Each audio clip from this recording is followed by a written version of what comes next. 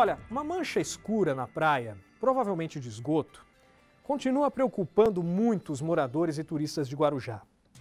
A prefeitura já multou a Sabesp, que é a responsável por esse problema, mas infelizmente a situação não melhorou por lá não. O problema persiste e quem paga o pato por isso? A população. Veja só.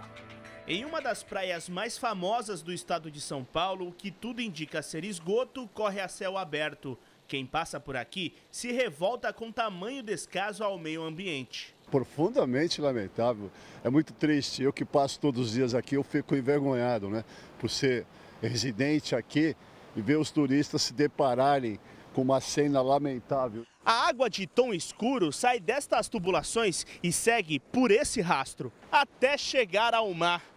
Por conta disso, a Sabesp já foi multada pela Prefeitura de Guarujá num valor superior a 9 milhões de reais. Em nota enviada ao jornalismo da Record TV, a companhia informa que a situação apontada se refere ao sistema de drenagem de águas pluviais, ou seja, de chuvas. Diz ainda que essa manutenção não é de responsabilidade da empresa. O secretário de Meio Ambiente discorda dessa resposta. Estamos dispostos a discutir com a empresa a parte da prefeitura, contudo, a Sabesp tem, a empresa tem que nos proporcionar discutir as instalações dela.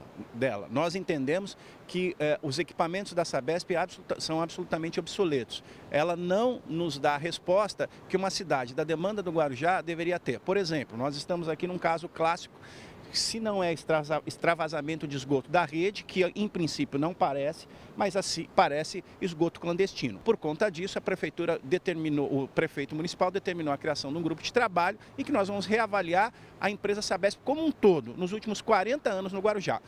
Em princípio, entendemos que é uma empresa que não está respondendo à altura que a população do Guarujá merece. Ele ainda afirma que esse não é o único vazamento registrado nas praias da cidade. Nós temos problemas como esse na Enseada, no, na Pitangueiras, na Astúrias, no Perequê, em várias regiões. Tanto é verdade que, recentemente, um grupo de moradores da Pitangueira se reuniram e estão fazendo um movimento pelo, por uma praia é, é, mais saudável, mais limpa, adequada, que, no, que, que tem todo o apoio da Prefeitura. Um problema grave que pode pôr em risco a saúde dos banhistas. É horrível, né? Faz um mal horrível para todo mundo.